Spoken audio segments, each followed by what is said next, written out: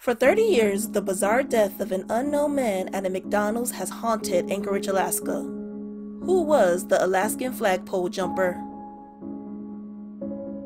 The city of Anchorage, Alaska was going through the usual hustle and bustle on August 23, 1989, as locals went about their daily lives.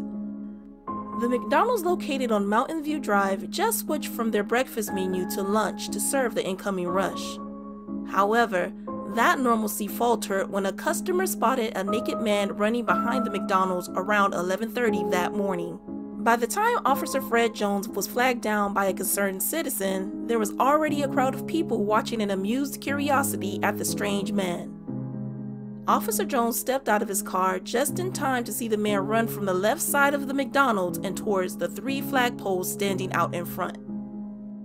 The bearded man paused, ran to the tallest of the three, then shimmied his way up 30 feet to the top of the pole, much to the surprise and horror of those below.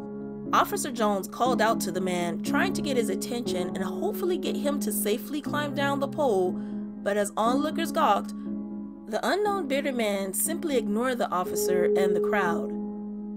Instead, it appeared that he was having his own conversation with the eagle ornament on top of the pole. By that point, another officer, James Loesch, arrived to the scene and to see what was going on and to offer assistance to Officer Jones. Officer Loesch went back to his patrol car to use the loudspeaker, but before he could, the screams of the onlookers made him turn around and look up. The bearded man had wrapped his legs tightly around the pole and stretched his arms out as though he wanted to fly. He pushed himself from the pole and dived headfirst into the concrete ground below, landing less than six feet from Officer Loesch.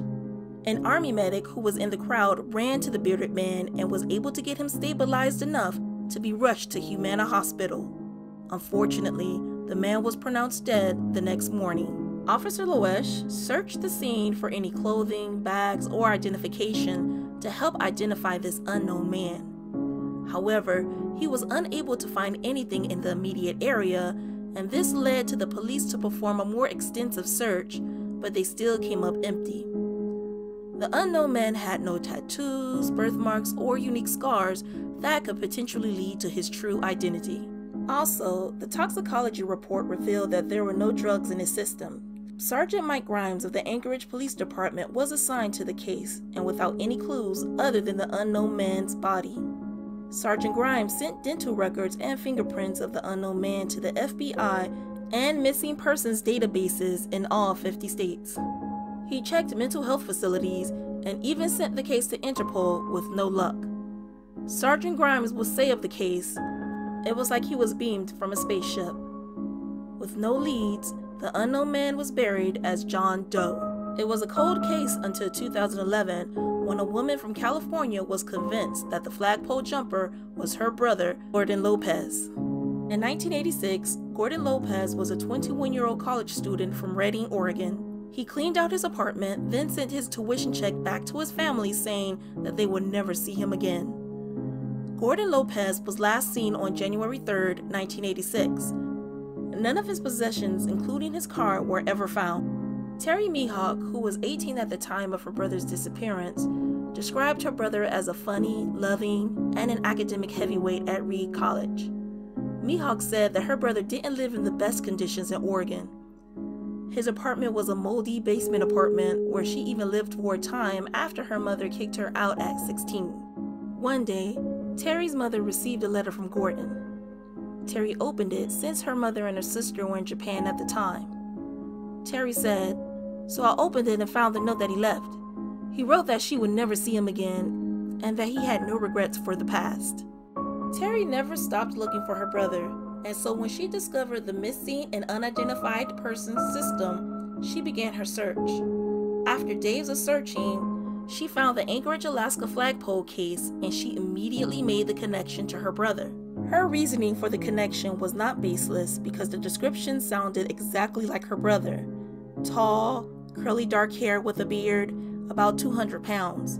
Not only that, Terry knew her brother had connections to Alaska and always suspected he would run off there.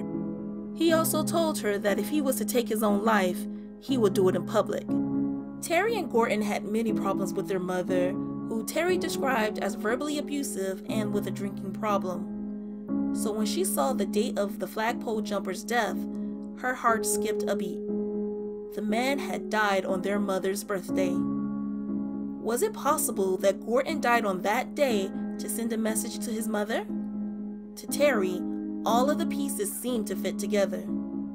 In 2015, Terry Mihawk paid to have the body exhumed and a DNA test was taken.